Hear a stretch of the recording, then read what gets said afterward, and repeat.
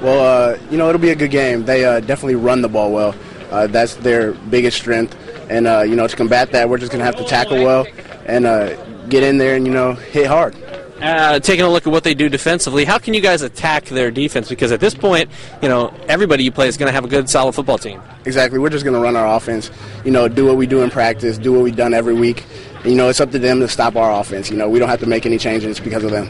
Did you take a look at this? Uh, I guess the way a lot of outsiders take a look at it is uh, the two running backs going head to head. I mean, you versus Mr. Hurst. I mean, do you do you buy into any of that, or do you think about any of that? Not at all. Not at all. I'm just going out there and playing my game. You know, all those comparisons that's for other people to make, and you know who they decide is better it doesn't really matter to me. You know, I'm comfortable in my own skin. Yeah, taking a look at um, the, also what you guys, uh, since you play defense, uh, what do you see in their offense? Because uh, Salerno's a, a, quarterback that can make a pass when he has to, and um, you know obviously Hurst has uh, been a machine this year.